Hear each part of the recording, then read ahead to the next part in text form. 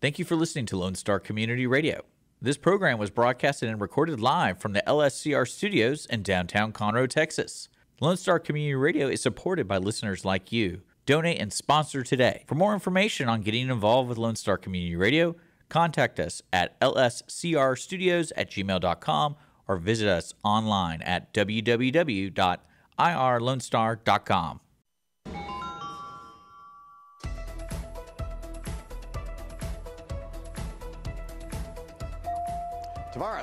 right in the butt?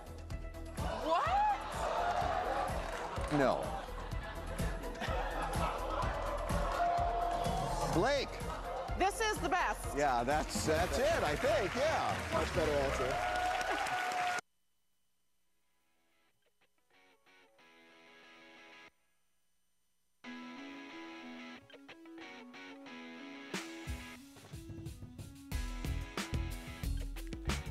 And experience in listener fortitude. It's the audience of one show on Conroe's 106.1 and 104.5 FM, streaming on irlonestar.com and available wherever you get your podcasts from.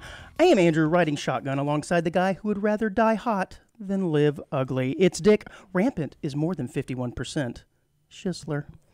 Yeah. We're on the other side. Memorial Day, we're on the other side. Yeah, it was a long Memorial Day, man. Officially, unofficially, summer. Yeah, that weekend is always a test in fortitude, isn't it? Well, It's a test in something. It's strange because I don't. It, like in society, we have the school zones and everything, and now everyone's like kind of still in school, not in school. I think everybody's out now. Is everyone out I would now think officially? so. I mean, there might be some private schools that adhere slightly different, but the public schools are certainly all out by now. Okay. Yeah, all the public pools and neighborhood pools are full of kids again. Like we're we were uh, driving around on Sunday, and the speed zones for school zones were on, and I was like, "What's going on?" So I, I, that brings up an interesting point. If you know for a fact there is no school because summer started, but yet the, there's a flashing school zone, I feel like you have to obey it I no think matter what. do you still have to obey the 20 mile an hour speed zone? Well, the way I look at it is, an officer just needs an excuse That's to pull you over. kinda what and I'm I feel thinking. like he, an officer, would pull you over and say, "Yeah, you're going to school zone." I'm like, "Well, school's not on." Well, let me check your registration. I need your license. yeah, And, you uh, said, well, the sign was still flashing. I'll let this one slide. But I need to check other stuff. I'd be curious. I may want to look that up at some point. But yeah, I've had that experience before, and it may have happened just this past week where I knew there was no school on Friday, but had to putt, putt, putt, putt, putt. Anyways, oh, speaking of putt, putt, putting, I did uh, travel a little bit this weekend to go see in laws in the central part of the state of Texas, the great state of Texas. And of course, I saw some of the. Uh, the road signs that are no longer going to be allowed. Yeah. with the uh, the funny sayings. I made note of this one. It said, "Keep some space. It's not a race." See, I like these. I guess they figure it's going to distract us with such high levels of comedy, but I still like them. But no more. Got what like a year left, and then it's just going to be the boring, boring signs. Well, what's weird to me about that is they're used to give people messages, right? So if there is like a silver alert or a blue alert, like mm-hmm. that's still distracting you. That's right. Like I you're still going to read the important information. So regardless of what it says, it's you're still going to read You're it. still going to read it. Yeah, I know. I, that's why I said I guess it's the comedy level. They're going, "Oh man, we can't, we can't have this distracting people." Oh my god. I also had this experience, you know, sleeping in a different bed that's not yours is always kind of dicey or whatever. But I had this experience where I annoyed myself. Have you ever annoyed yourself? By the way, The only time is like if I constantly run into things, and I'm like, "Golly, like what is my deal today?" yeah, like yeah, I'm dropping things. I'm bumping into things. that's I'm- annoying. yeah, Because being annoyed is and well, forgetful. yeah, Like you forget your keys. Like, oh, I forgot my keys, and you grab your keys, and you're going back out. Like, oh man, I forgot my backpack. Oh, I gotta go back in there. Those are pretty good examples. I think running into a doorway with your elbow, oh, you're like, come on, man, the thing is three and a half feet wide and I can't make it through. Yeah, that is that is a good example of annoying yourself. Well, I had the uh, the unfortunate of, of event of waking up at 3:30 in the morning because I had to make a little potty, right? And you do this thing where you struggle with yourself for a good 10, 15 seconds where you're going, "I- nah, I don't really have to go. I can just go back to sleep. Yeah. And then the other side goes, you need to pee, dude. Just get up. And you argue with yourself mm-hmm. for longer a period of time than it would have taken if you just went to the bathroom. You know, and then I finally said, "Oh, just go." You know, so I go to the restroom and get back, and I've, I realized I was having an argument with myself, and one side of me was annoying the other side of me. yeah. It's a very humbling and odd experience. Yes, Dick. Um, it's really extremely toasty in this I know, man. uh, studio at the moment. Holy expletive! Yeah. It is hot in here, bud. Like I don't think the air conditioning. Like I literally I is text on. the rest of the shows because I'm supposed to be here till like Holy eight o'clock cow. today. I'm like, I don't know if I could sit in this room. It's like a sauna in here, man. yeah, Yeah, this is. Yeah, I don't know if you can sit here all day. This is Yeah. this is pretty bad. Um, had I known, maybe I would have brought a fan, but I, I guess the fan would have made noise into the microphones, which is probably not great radio. Anywho, so I got to see my nephew for the very first time. The one that gave Yeah. that, that allowed me to wear the shirt from last week about being the, the favorite uncle. I got to see him for the first time. Cute kid, but it got me to thinking about babies in general and the whole baby making process. But not that part of the process, man. I'm talking about like the gestation period. There's been like estimates of 110 to 120 billion people have been born on this planet. I do find it kind of strange that we don't see more pregnant ladies walking around. I do. You, what are you doing? Where are you We're at? hanging out at bars, dude. oh, that's true. That's, true. The pregnant ladies are always at the bar. No, no, I love is all the pregnant ladies are at breweries. Are they now? Yeah, it's weird. Like I always see at least two or three women. Okay, pregnant. well, your experience is definitely different from mine because I just don't see pregnant women very often, and with as many babies that are born, and I have everyone's some stats. fat too. And well, yeah, you can't you can't tell, I suppose. No, it's just it, I just thought that I would see more pregnant ladies around, and I guess what it is is we see women that are pregnant, but they're so early on, maybe you can't tell, and by the time they get large and they're showing, they go off to like pregnancy island somewhere, and you just don't see them because they don't want to be out. I'm guessing. I don't know. Well, at one per, at one point in the pregnancy, it looks real extreme. You're like, oh my god, you're Towards huge. the end, I think. yeah, yeah. like you're huge. I don't know. I just I don't see very. And women don't like being called huge. No, they yeah they really don't. Well, I'm glad that you get to see pregnant women all the time. Well, the UN estimates Or that to the around. grocery store. I, well, that's where I go, bro. But I do to go, go, at a once a week time. at least. You gotta go at a certain The time. pregnancy time, the Yeah, pregnancy pregnancy time. hour.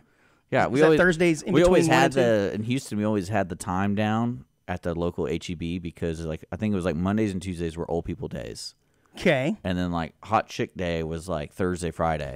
is this unofficial or actually It's like, like- advertised on the no, sign? it's just the way we notice every time we go. It's like yeah, there's a lot of like younger women wearing yoga pants today, and I was like, it's probably like probably the weekend is, is the moms and single dads or Yeah. something, right? Okay. and then like the Saturday because I always went on Saturday mornings Uh huh.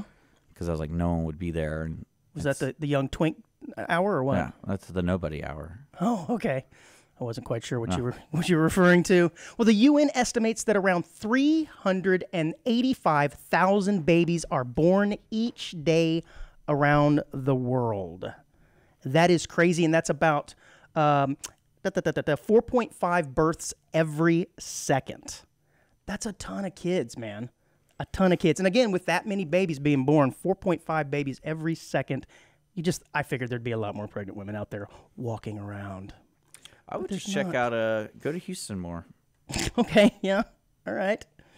All right. Well, I also, in a somewhat related um, link here, the largest countries by population. Dick, I'm going to give you a little quiz here.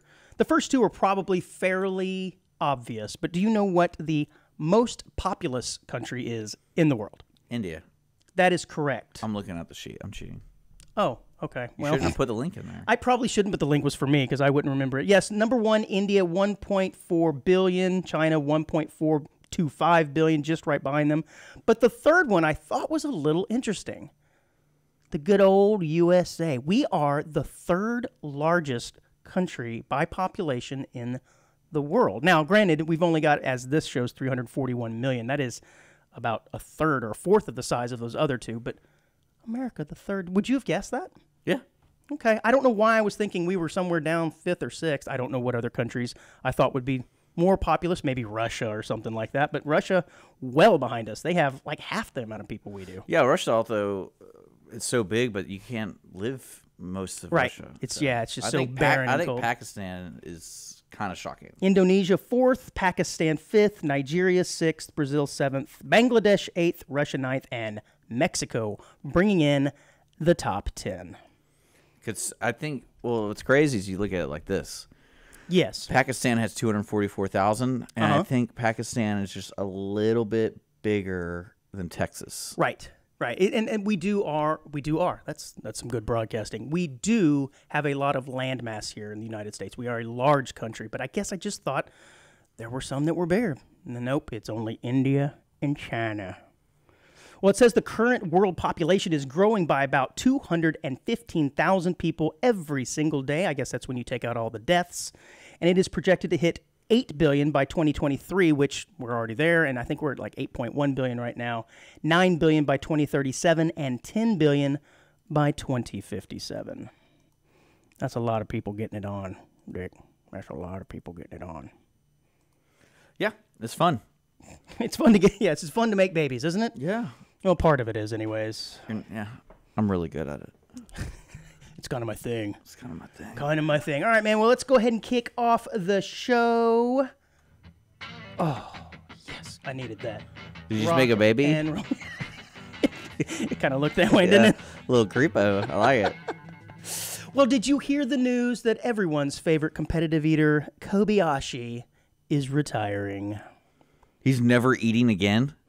Well, now he's never going to eat competitively. And you remember we've talked about Kobayashi before. He was the uh, the one that kind of brought competitive eating to the forefront 20 some odd years ago, and uh, he was the one that uh, started the trend of dunking the hot dog buns in water. Pioneer, man. He was a pioneer. Well, he has announced he is retiring, and he states he's wondered what damage he may have done to his body. And he estimates that let's wonder that. well, yeah, over over the number of years, he's worried about the damage that he's done to his body. It says the 46 year old from Japan believes he's eaten 10,000 hot dogs in his career. Dick, that is a lot of wieners that man has had in his Yeah. mouth. That's a lo- he's had a lot of wieners in his mouth. But he hopes hopes to fix his brain. Do you think he's ever gonna miss it? And his gut. No, I don't think like so. every retired athlete, pro Right. athlete, like, Oh, man. "Yeah, I miss the feeling yeah. of being so full I have to take a dump. Well, you're right. He probably will miss the competition because guys that are at the top of their game, no matter what it is, they tend to get off on that, that competition. And you're right. If I that's think, missing, he may uh, do something else. I forgot who the guy was. We're watching the interview with it's like the Rich Eisen show or something. Uh-huh. And he's a competitive eater, and he got he asked like a fair question. It's like, what do you do about the bathroom? And he's like, well, actually, usually when the event is done, the event's done. Like they we don't hang out.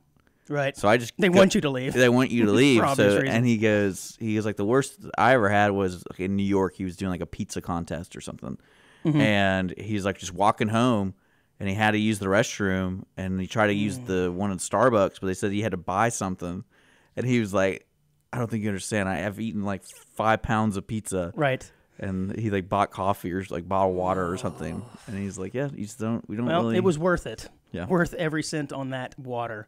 Well, he says since he has eaten too much, he has lost the ability to fully taste, savor, and smell food.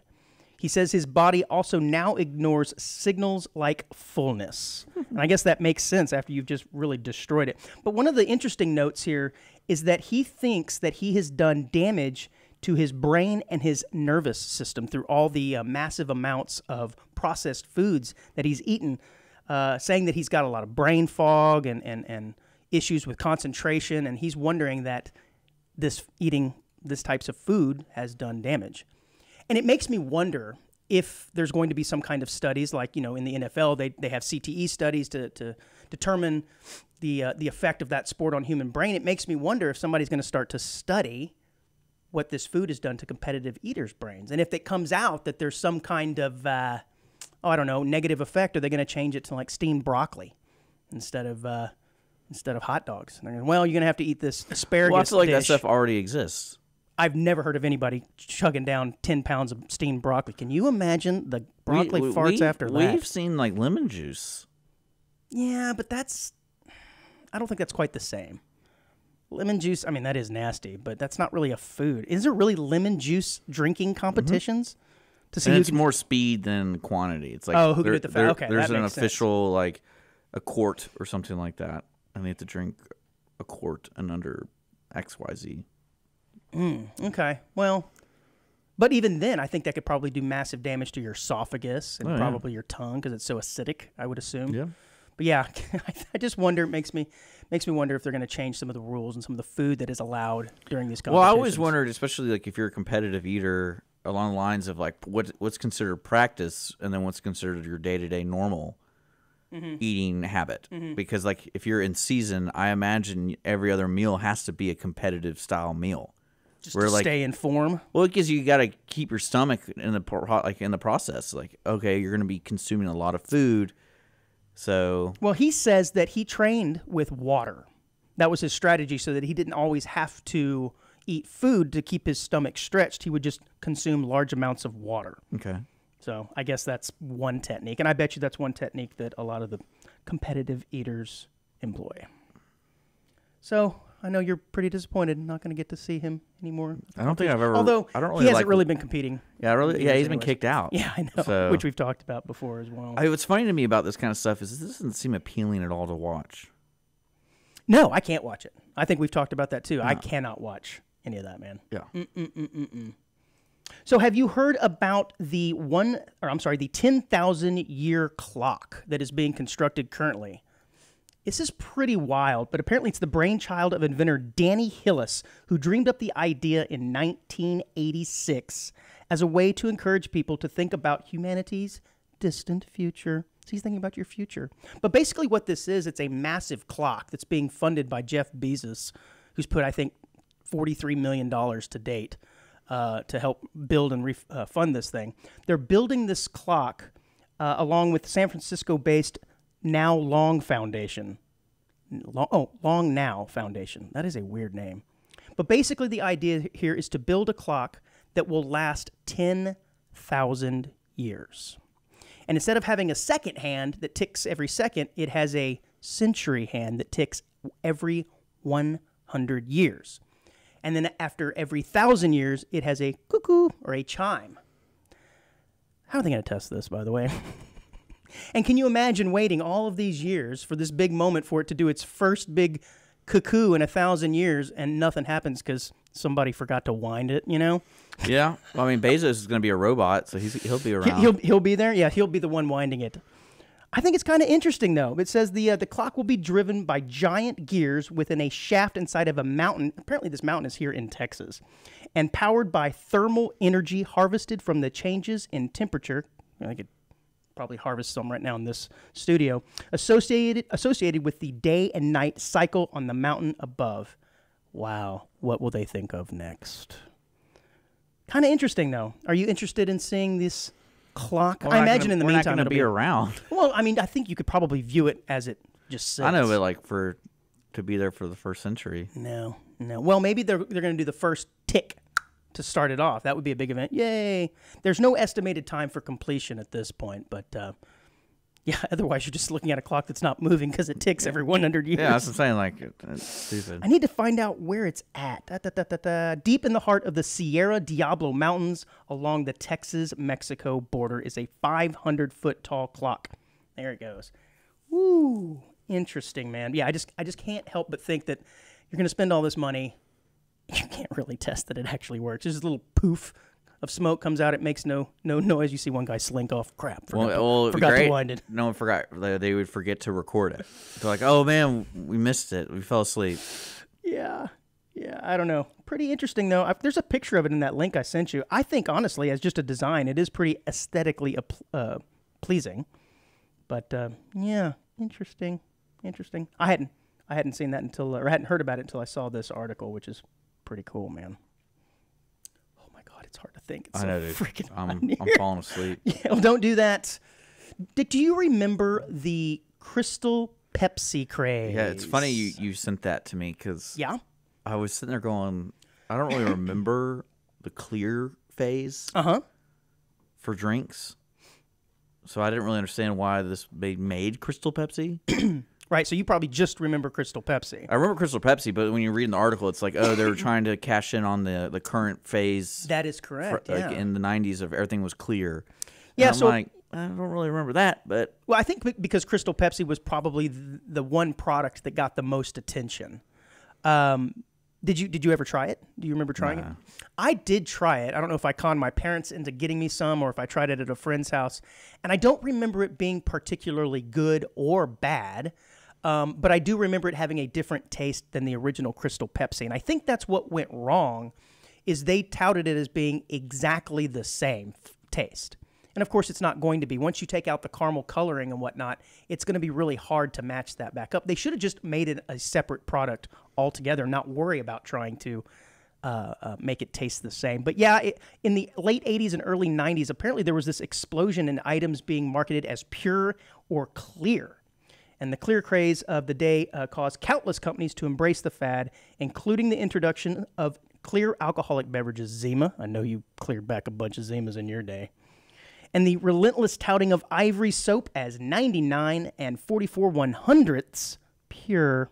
But I, what I didn't uh, know is there was uh, an oil company, Amoco Oil, tried to get in on the trend and made a clear oil.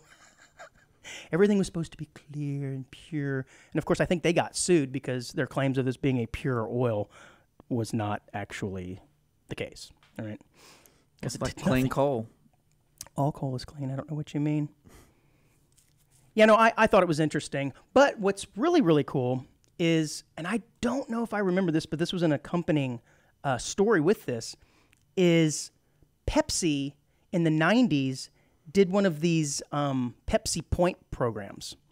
And you could either buy Pepsi products to get points, or you could literally just buy Pepsi points for different different uh, items. Like you know, remember like the Marlboro points where you get like the backpack and the hat and the shirt that, has the, the product on it. Pepsi did this. Well, Justin Leonard, or I'm sorry, John Leonard. Justin Leonard's a golfer. Um, in 1996, um, was on a mission to try and set out to get the ultimate prize, and this was a fighter jet. Because at the end of one of the commercials where Pepsi was advertising, they advertised a jet. Yeah, I remember this. You do. Yeah, I watched the movie. Yeah, so it is a Netflix documentary. Uh, Pepsi, good. Where's My Jet? It's pretty interesting. So basically, what happened was there was a promotion on TV, like I said, that claimed that you could win a jet uh, for seven million points. Okay, and that that it was a Harrier jet. And what's interesting about it is the jet was actually twenty-three million dollars. So one ingenious little kid started putting pencil to paper and said, "Well, I can't buy enough products, but if I just buy outright the amount of, of Pepsi points, I can get this jet for about seven hundred thousand dollars." So he apparently he was a 20 year old college student at the time. Um, realized it would be, like I said, prohibitive to buy at the store, so he bought the the uh, products or the points. And he apparently had a millionaire friend, Todd Hoffman, whom he encountered on a mountaineering trip. I think there's a documentary about how he encountered a millionaire friend on a mountaineering trip. Just gonna say, but he convinced him to go ahead and uh, have him purchase the tickets for this this um, this jet. And eventually, they confronted Pepsi, and Pepsi said, No. Nope. Because the advertisement, even though it did not have a disclaimer in it, and they watched it many, many a time, they said, "Yeah, I I mean, this. The, the, look, they're saying that you can get this jet, even though it didn't have a disclaimer." Pepsi, I guess the lawyer said, "Look, this is not realistic. No one actually thought you you could get a, a fighter jet. Come on." So they were out seven hundred thousand dollars. Kind of reminds me of that one movie. I'm trying to think. Uh, Punch Drunk Love. Kind of the same concept where he realized that the value that what they were offering on the points was worth way more than the Oh, product yeah. you get. Yeah. Well, I remember- I forgot what happened at the end of that story with the Pepsi guy because it was like a long story. It went through courts. It yeah. went This article's through- fairly long too. And somehow, I think it was like the judge basically said, the, "Shame on you, Pepsi, but you don't owe them a jet." Right. It said the tongue in cheek attitude of the commercial would not cause a reasonable person to conclude that a soft drink company would be giving away fighter jets as part of its promotion. Well, because they even had this really shady deal where he was talking about the points and the way you redeem points is, is uh, totally separate. Like it's not like a website. There wasn't like a website or anything like that.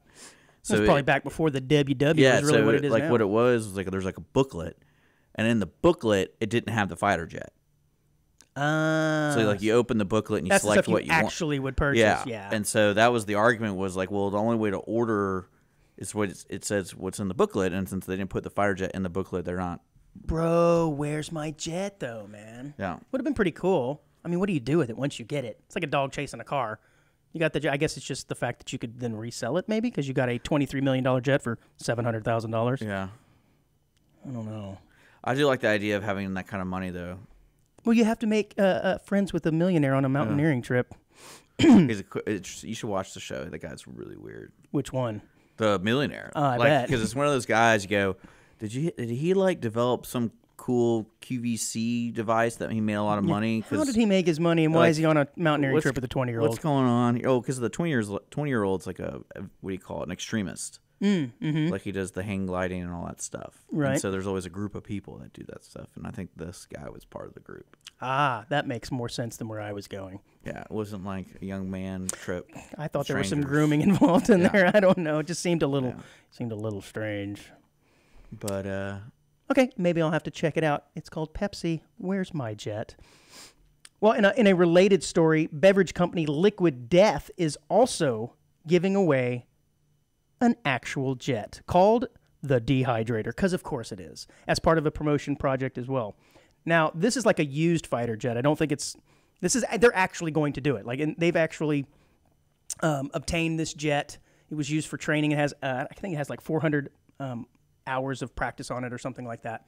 And they've obtained it, and they're going to actually give it away. Which, again, I don't know what you're going to do with it, but yeah, they've got the same same type thing where they've got a uh, a game going on where you get points and whatnot. The dehy- dehydrator is an L39 Aerojet and can fly almost 470 miles per hour with nearly 3,800 pounds of thrust. How many pounds of thrust do you have, Dick? well, they, they named it because it's that's how fast you can go to relieve your body fluids. What? That's why they named it. Hold on. There's a speed at which you relieve your. You, says we named the jet the dehydrator because with a top speed of over 470 miles an hour and nearly 3,800 pounds of thrust, going for a ride in this thing will relieve you of your bodily f- fluids. just what I need. I guess if you're um, feeling a little backed Well, up, when you you're getting the dehydrator no, and give it the gas, and when there you're having an argument with yourself. yeah, you're annoyed. What? Yeah, like I can't. I just, I just go, just go. We'll just get in the jet and go. just get in the jet, and I will go. But yeah, I guess it's this point program. I wish I knew the name of the point program. I don't know. I'm sure it's called something really creative, but giving away retire. And this, I have to admit, this doesn't look like a fighter jet. Each stick of death dust, a powder that mixes with water that contains vitamins, electrolytes, also counts as an entry. Ah, there you go. It says, yeah, the, co- the contest will also include a year's supply of liquid death to, quote, rehydrate you after you puke and pee your pants. A liquid death flight helmet to protect your skull while you pull G's, and a cockpit cup holder for extra liquid death refreshment. you know, liquid death is water, yes, and I never knew that. I didn't know what it was the first time I saw it. I saw it in the airport um, one of these times I was I thought it was alcohol, and when I every time I saw people with it, I go, "Man, people are just getting crazy right now." Like, just grab a liquid death. They really did great advertising on this. Yeah, thing. I, I thought it was like a hard seltzer or something, maybe. Yeah. No, it's just water. it's just water. It's just water. Well, I think the show needs to go out and get it, itself a new fighter jet for advertising. All right, man, this is probably a pretty good time to take a break. When we come back, we're going to have an update on our favorite billionaire, Brian Johnson.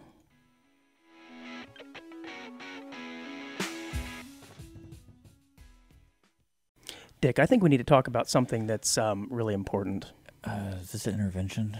No, that's next. No, I think we need to talk about um, sponsoring and donating to the show. It's something that I, I feel very close to, and I think I think it's good for you. I think it's important that we tell our listeners that they can donate and sponsor. Very, very true. Do you, Yeah. Do you like dog food? Yes. Oh, well, that's good because without those sponsors, sponsorships and donations, dog food may be what you're eating. Okay. Don't uh, let Dick eat dog food. Like, follow, subscribe, donate. Yeah. Today. Audience of Audience one. of one Audience of one. Show. at gmail.com. Yeah.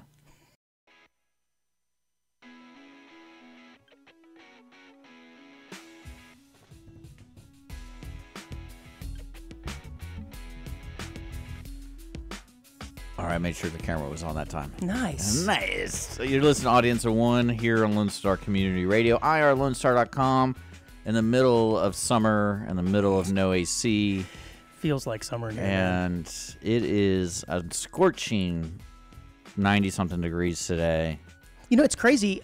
I don't think the onesies realize how hard it is to actually do the show right now. I'm, I'm sitting in a big old pile of soup of my own making, Yeah. and uh, without getting too descriptive, and uh, it is it's it's like hard to uh, concentrate. It's, funny. kinda- it- like you're sweating. oh yeah, oh no, my, the back of my shirt. you're yeah. sweating. I can see it. I can see it on you can too. see it. Yeah. Uh, It's crazy. So welcome we're gonna, back. We're going to persevere onesies to bring you more magic. By the way, this second half of the show is up for sale. That's right. If you'd like to Yeah. donate and sponsor to the audience of one show, join in on this madness. This segment is going to be brought to you by you, or could be brought to you by you. Yeah, it'd be great if you sponsored and gave us ice. yeah, yeah. Ice. you go. I could just sit in ice. Uh, man, it's It is hard. that's the one thing that's unfortunate where the studio is is the fact that when everything gets affected, like it is downhill, and we don't know when it'll be back because this building's huge. It used to be a bank, right. It is and- large. Yeah. so I imagine the AC is broken and they didn't fix it over the weekend because every you know what's so weird about Memorial Day to me is there's supposed to be a veteran oriented holiday. Uh, well, to a degree. I mean, it's about the people who have passed in the Yeah. line of duty.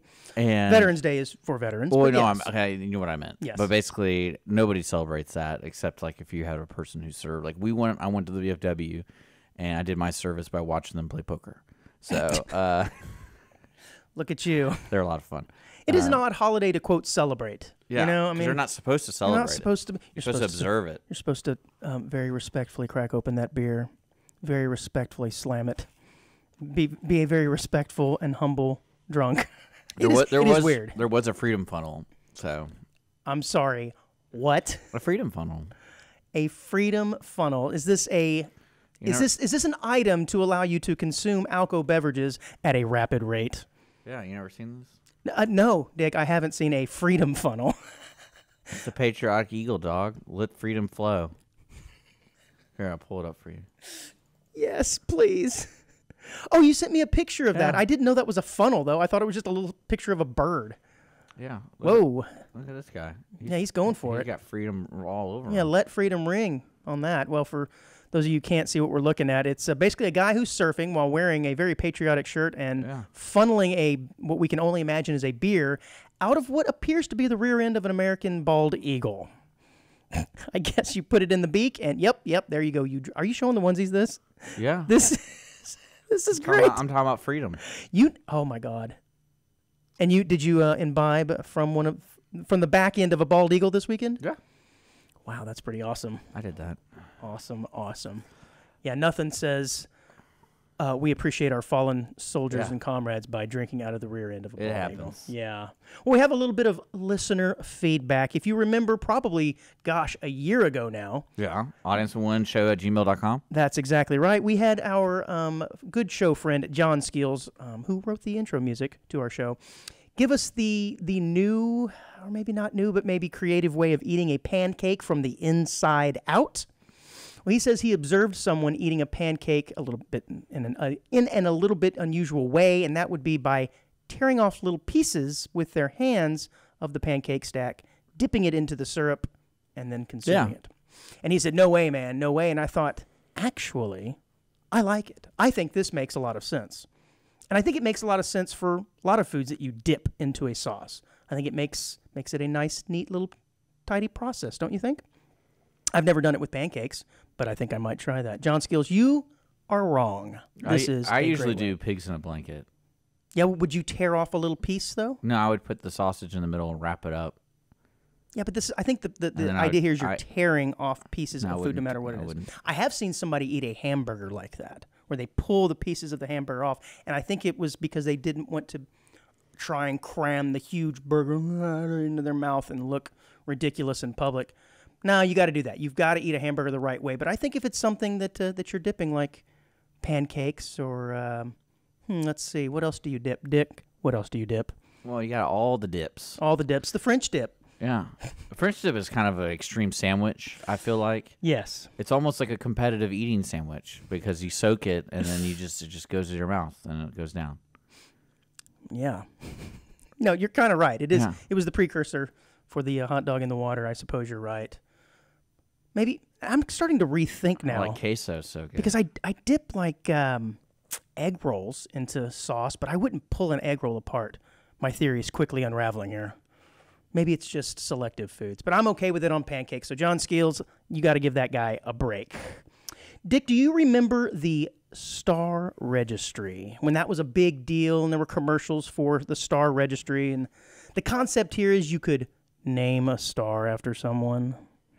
Oh, I thought you were talking about the star thing with uh, your driver's license. No, I have no idea what you're talking about. You have to register. Yeah, but it's that's just registering your license. I, I guess No. that's the name given to it. A star. Okay. I, I, I, I guess it, isn't that just a, an, an emblem on the license plate or I license? I think what it is supposed to be something with the TSA. Hmm. So it's like because I guess so many people just didn't weren't qualified with their li- like they didn't know certain things with certain states with their driver's license didn't have a lot of information. So if you got the star, you could skip Oh, certain it's like things. a combo. yeah, I'm gonna have to look into that. because I remember I accidentally did it, Okay. and they're like, "Oh, you wanted your, you want your star registry?" And I'm like, "Well, okay." And then No, I'm talking about naming a celestial body yeah, after some somebody. Have, have you not heard of this before?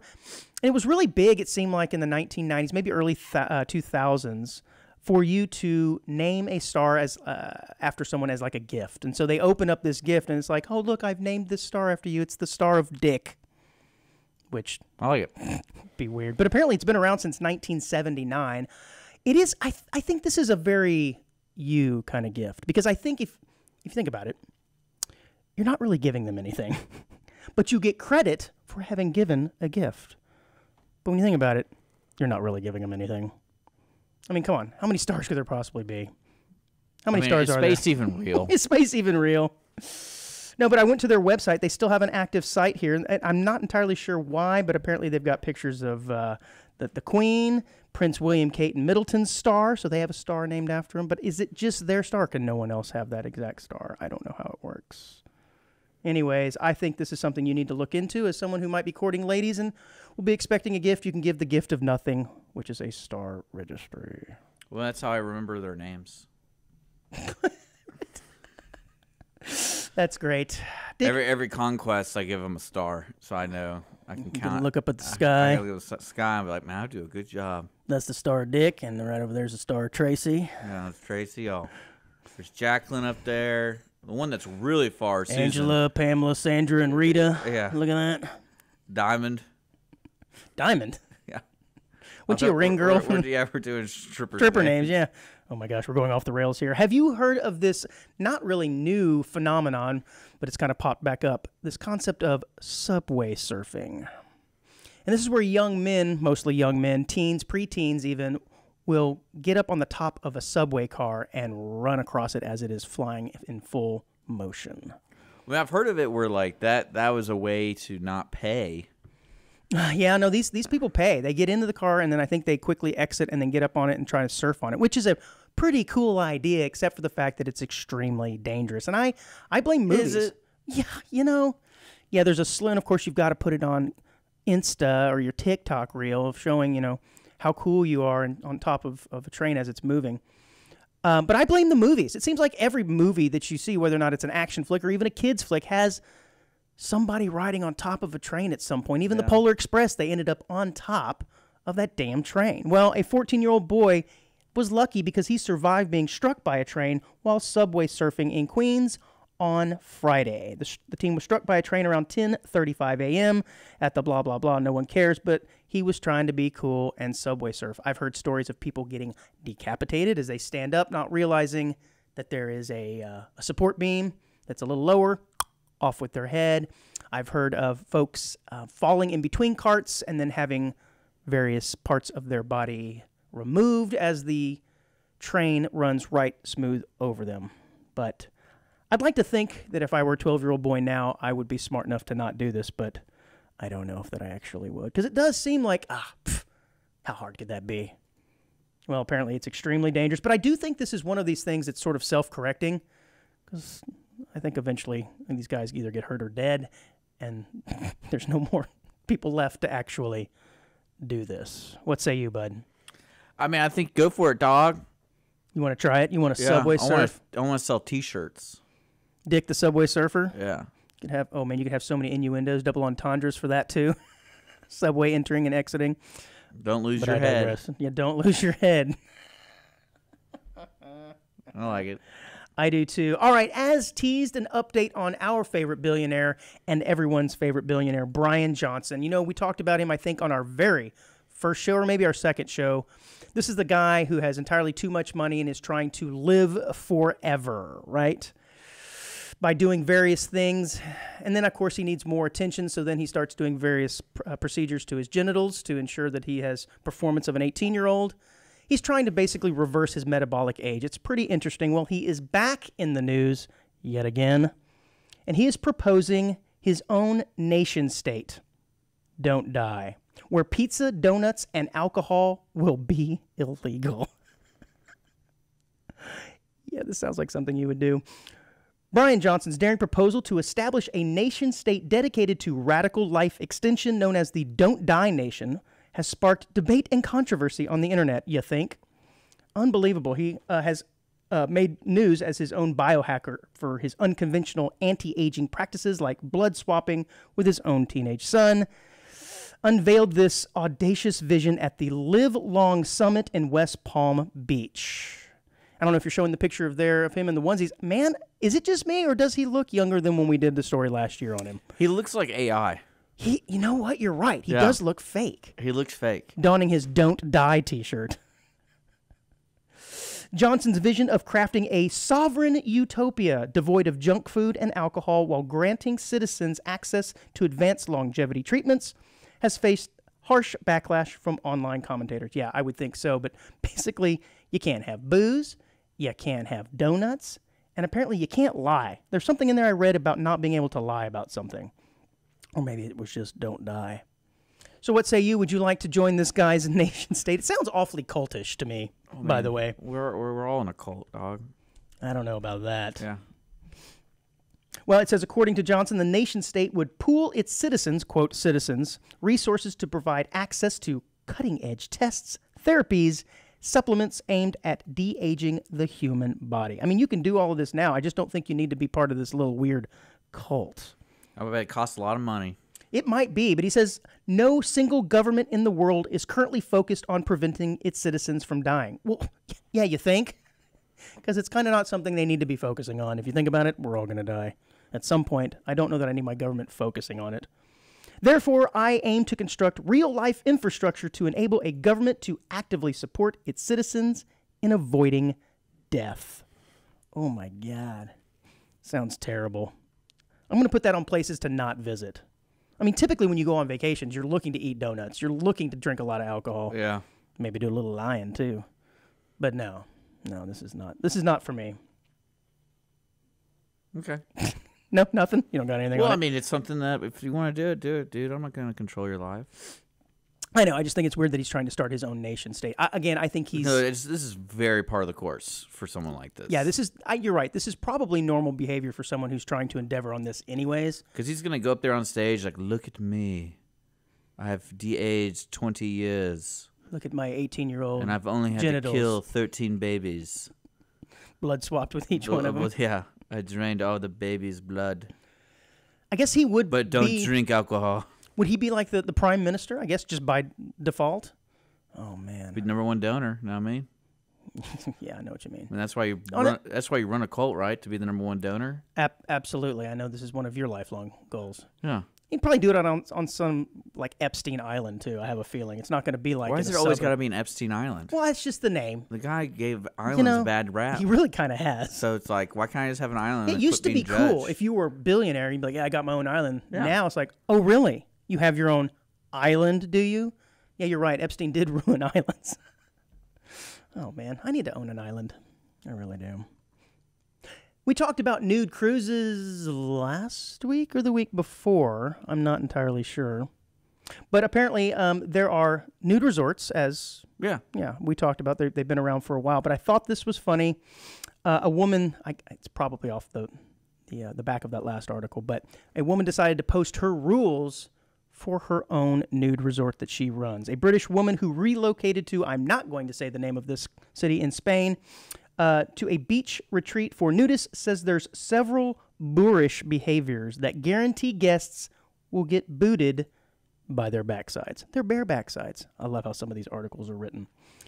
Carrie Jane 57 says that most clothing averse vacationers are impeccably well behaved, but some of them are not, and uh, some of their behavior will not be tolerated. It says, first of all, for instance, pervs who obviously display their uh, signs of excitement, let's put it that way, uh, males, will face stiff punishment by being escorted off the premises. Again, this article is written hilarious. I like it. It says if you see someone with this affliction and is purposely drawing attention to it, look at this, guys. Hey, look at this. Look, look. Let a lifeguard or authorities know about this, and in most cases, they will be kicked out or banned from coming back. Dun dun dun.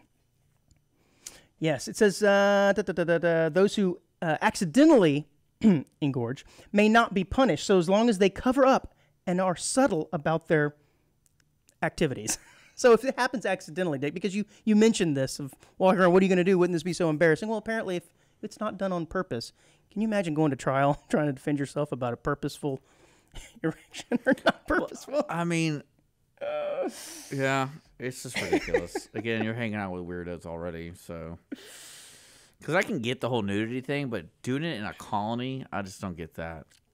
yeah, I mean, my own. I guess my own bathroom is my own nudist You know, colony, you know, but doing talk, you know, what I'm talking about those. Like, say you do like doing that kind of stuff. Yeah, I get it. That's why you buy a house with acres or whatever, so you can be naked outside. But then when you join a colony, you're just that's just another level of like, It's like the live long colony. He needs to combine these two. The live long nude colony. yeah. That's what it is. Brian Johnson's nude. I'll tell Brian though, I'm like, you're not touching my private stock.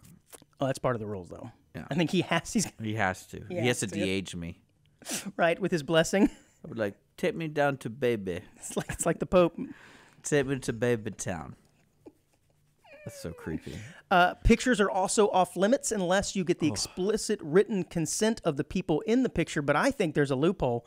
If you look for unsuspecting people in the background that you want pictures of, You know what I'm saying? You're like, yeah, let's all get together. No, to the right, to the right, to the right, a little bit more, a little bit more. Yeah, perfect. And then you make sure that uh, Hottie's in the We do background. that all the time anyway. with, clothes on. I I've never been uh, never been I've I'm never been caught doing I'm that. kidding. But that's that's the way to get around that loophole. So I just thought it would be interesting to bring up some of these ideas. And the pictures of these people, of course, it's blurred out, is pretty funny. It's all dudes running around and jumping off rocks with nothing on. Obviously, they're, you're not also allowed to have any sexual ac- uh, activity go on. This is basically just walking around without your clothes. I like Without it. your clothes. Dick, staying on this theme of nudity in a, in a way, how's your midsection feeling at the moment? I'm full. A little lower. Midsection? My stomach? little lower. My privates? There you go. No human organ is safe from micro, microplastics, even testicles. Have you heard this news? First of all, do you know what a microplastic Yeah. is? Microplastics are those little microscopic bits that come off from plastics from either tires uh, uh, emitting bits into the air that we breathe or from our plastic bottles or whatever. Plastics are now basically found in everyone's body, including the male testicle. I guess it wouldn't be the female testicle, though, would it? Researchers at the hmm. University of Mexico recently. Aren't there people born with both? I- well, I suppose there could be in very rare instances, but researchers at the Shout uni- out to them. at the University of Mexico recently tested 70 samples of testicular tissue, 47 from dogs and 23 from humans. That makes no sense. Why odd numbers? Don't they usually come in pairs? Anyways, each one of them found microplastics. Every single one of them. Okay. So that means right now there's a probably a pretty good chance you and I got some microplastics down there. Yeah. Maybe that's where those unwanted engorgements come from. It's all the microplastics. Or maybe it's drinking all that crystal Pepsi we did back in the 80s and 90s. God. I'm already feeling it. Oh, yeah. So, anyways, this is a problem, though, man. Microplastics, and it's not well, like. yeah. I mean, I remember reading about it, and they're trying to say like the person who's going to make a buku money is the person who's going to develop a way to get the microplastics out of your body. Out of our body. Because I don't think at this point, if we said, okay, we're going to eliminate plastics from the face of the earth right now, okay. There's still There's still so many of them out there that, I mean, it's, I don't think it's a problem with an easy answer, but apparently, them plastics find their way to your nuts. Well, they find your way throughout your entire body. Correct, which is why I don't know why they just decided to focus Well, in on the nuts. they- An odd number of They nuts. probably too. want to say that to scare people. Oh, maybe so to get some attention. Yeah, I guess because if you're like, oh, it's found in the body, you'd say sure. But if you say it's, found in your nuts, I'm like, you know what that means? That means the study isn't the first to mutant babies. id- mutant plastic ever living babies. mutant babies, man. You know, it's so hot. you know what I'm gonna. It is. It is really hard to do the show. Uh, you know what I would name my child if I knew that I had plastic in inside Toxic there? Avenger. No, Aquafina. Aquafina. yeah. Thank you. That was Dasani. That Dasani. Yes, I had twin girls, Aquafina and Dasani. The study isn't the first. Uh, oh my God, to identify microplastics in the human male reproductive system, but it's, it's the first one that has come out with 100% six of six, and 30 of 30, even in the semen samples. So this is 100% chance. So that's that's that's scary. It's not like, well, this is statistically probable that this will happen. No, right now we're saying mm, it's probable you got it in your nuts. Where, where do you think they got all the nuts from? The body there's, farm? There's a kind of there's a lot of guys There, well, yeah, but I don't. donate their body to science. I guess it was people that donated, right? But again, odd number. I only donate one of mine, not both. Well, people. Wouldn't you like to be real contrary like that? yeah, they might have messed up the first one.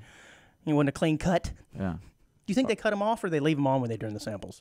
I don't know. Good They're question. Yeah, it is a good question. Thank you for noticing how good that question was. The findings add to a growing list of studies finding microplastics throughout the human body, including livers, lungs, oh, car- carotid, oh, carotid, carotid arteries, breast milk, and everyone's favorite, placenta.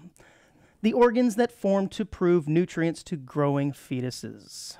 And of course, afterwards, a delicious snack, which we determined you can make jewelry out of or just have a snack on top of maybe a, a Triscuit. I don't know. I think I'm starting to hallucinate. It's so hot in here. Yeah. I'm trying to trying to find where we are. Oh my God! Hopefully, hopefully we make it the entire it. show. Got it. Hopefully we make it the entire show here. Um, are you aware that the Mona Lisa? Do you know what the Mona Lisa is? First of all, do I need to tell you? Is it a that microplastic in my nuts? No, it is not. Dang. Uh, I don't think we're after the 55 minute hour uh, or mark. Otherwise, I would have a joke for that. But the Mona Lisa painting is now on display at the Louvre. Right. Yeah. It's always been there, right? Right. They're now thinking that it could be moved. Oh my god. Moved from the Louvre. Yeah, good. They should. That place Well, sucks. yeah, I'd actually like to go. It's just a museum in Paris, in uh, Gay Paris, right? But what I guess most people don't realize is they go to the Louvre to see this, and everybody wants to see the Mona Lisa. Everybody's got to get a selfie with it, and there could be up to 20,000 people every single day viewing the Mona Lisa. So it can take hours and hours and hours for you to finally work your way up there to see a picture. So what they've decided to do, move her to her own massive room because apparently right now she's just in with everything else and it just completely clogs up everything. So they are moving her to her own room so that you can throw stuff at her with uh, a proper right proper angle. Are people doing that? Right, yeah. Don't they throw like people Like oil or something or milk paint? and spaghetti? They throw but I think it's covered in plastic. Like it's in behind a plastic thing, so it really doesn't matter Yeah. But that's that's kind of interesting though. But I didn't realize that twenty thousand people every day. Yeah, going to Ro-. Roger next door is getting pissed. Roger, Yeah, who's Roger? he's a famous painter, but no one cares about him because everyone's waiting for Obviously, Mona. Roger, the famous painter. Yeah, huh? Ra- Roger. Duh. Is this a the very French name? Roger. Oh, he's the one that did uh, King Charles. Yeah. In red. Yeah. And your uh, your ex wife, Yeah. right? That's the same painter that you commissioned. Thank you, Roger, Thank you, for the Roger. memories. Dick, are you familiar with what poo plumes are? No, but I like the name already. Poo plume. It's yeah. I think I've got your new nickname. Well, basically, there are trillions and trillions and trillions of microbes that are essentially, essentially, quote, part of you. Okay? but what happened, a lot of them are harmless, but some of them can make them sick. And even though our toilets do a great job of capturing and eliminating our waste, rogue poo particles can still escape the bowl, especially if we don't shut the lid when we flush. So I got to ask you, do you shut the lid Oh, yeah. before you flush? Oh yeah. Man, I can't say that I'm consistent with that. I mean, I, I'm sure I do I- sometimes. Well, the only reason I do is out of habit, growing up with uh, with sisters. okay. So Well, like, that's the seat, though. But this is the yeah, actual no, lid So what I did is like I trained myself to make sure I close the whole Whole thing, thing. because I don't forget to close the lid. included. But that's just seat. pee. I know, but like it's just the way Oh, I was trained. Gotcha. And so I was like, anytime I use the restroom, and before I flush, I got to shut this thing. Well, they're saying when you flush that uh, particles can whoosh up Oh, in the yeah. air called poo. What I call them? Poo, plumes. Apparently, they first started to be uh, studied in 1976. I'm like, we're still studying this. How long does it take to figure out poo plumes come out of your toilet? The whole idea uh, was: is there something that's coming out of the toilet when you flush it if you don't keep the lid down? It's called a poo plume, like we just said, little droplets in the air. So. How they uh, studied this is scientists placed petri dishes around a toilet, flushed it multiple times, and looked to see if anything sprouted. Gross. Sprouted? What's sprouting, Dick? And sure enough, within six feet of the toilet, you had microbes that were growing because that is how far the droplets can span. And they say one of the Yeah. things that's within It's crazy. that's within six feet of the toilet is usually your Toothbrush. toothbrush. Yeah, I know. I already know all this stuff. Toothbrush. You know all the stuff, and you didn't bring it to air first. No, I just didn't think you were a disgusting piece of garbage. I think I, this is information I need to know about closing the toilet so I don't get poo plumes on my toothbrush. Thanks a lot. I didn't realize you were so adept at this. I'll move on. Were you aware that Steven Seagal is facing facing sanctions from the European Union after attending Russian President Vladimir Putin's inauguration in Moscow? I didn't know this. Uh, but apparently, the above the law actor, who has applauded Putin frequently in the past, had high praise for him uh, as his friend. And he's, I didn't realize he's 71 years old. Not Putin. Yeah, Steven Seagal. Steven Seagal, 71 years old, still looks a day, doesn't look a day over 25, by the way. Looks like he ate his 25 year old self. He kind of does. So I know he'd been, and I know you're a big fan of watching his terrible, more recent Oh, yeah, movies. they're great. Yeah. But I didn't realize that apparently he is uh, um, huge Russian guy. huge. Huge. But he's an American Huge. citizen. No, he's a he's that dual is citizen- now- he's dual citizenship. yeah. Yeah. has now gone over and and acquired citizenship in Russia. Interesting. I had no idea. But according to the Ukrainian news, uh, support of the former KGB agent could make him a target of sanctions. Uh, package being finalized by the, e- by the EU officials. It's not clear what any of those punishments might be. Well, I guess this is the end of him making good movies now, huh? Oh, well, probably making better ones now. Now he's above the law. Yeah, he says that uh, him and uh, they have an order of friendship, him and Putin. Yeah. He awarded it to him. And Seagal reportedly, dec- I love how he reportedly declared himself one million percent Russian. You know what that reminds me of? That reminds me of the uh, was the Office character going, "I declare bankruptcy." That's not how That's not really how it works. Well, you don't just declare yourself one million percent Russian. It's interesting because you, you could tell with his career, that's where he made most of his movies post 2000. Mm-hmm. Was somewhere in Russia. Like, you know, it might have been Fallen States, might have been Ukraine, might have been all this kind of stuff. And then you could tell it was getting more because I think he was dating a Russian girl Of course he was. who was somehow tied to Putin. Putin. His beard is oddly dark. I don't know if you've seen it. I I imagine that's not natural, but he's 71 years old and his oh, beard Oh, yeah, and hair it's- is like jet black. Yeah, it's blacker than the night, and yeah, this guy's hilarious to me because but just because you don't really know the full truths of what they're saying about him. Because I think at one point he was there to train. Mm-hmm. You know, he's Aikido. He's like so they hired him to be a trainer, Right. and then then he became some type of military uh, uh, specialist. And then it was like, is he in the army, the Russian army, like, or is he just kind of like a celebrity that's just ha- going on tour? I don't know. And then it became like, he, oh, he's like best friends with Putin, and that's the girl he's dating is somehow related to Putin or something. Well, one thing's for sure, he's one million percent. Well, Russian. that's what I'm saying. One like, million percent. He's in it. I love it. I guess so. Well, he could be facing some sanctions. All right, this is the quick hit here at the end of the show, Dick. We have made it. Whew. The scorcher of an episode. We have made it. Were you aware of what the poltergeist curse is? No.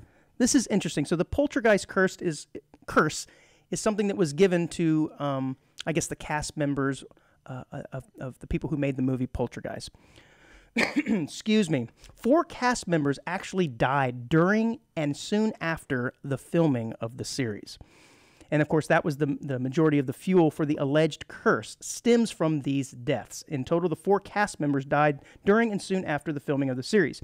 Two of these tragic deaths were highly uns unexpected and puzzling, leading many fans to speculate on the trilogy's eerie implications.